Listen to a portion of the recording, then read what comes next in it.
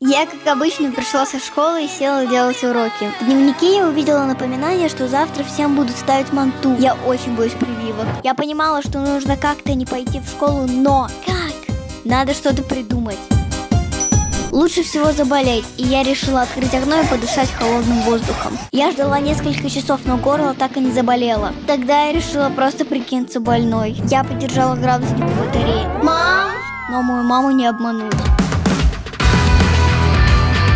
Похоже, градусник не работает. Нет у тебя температуры. Блин!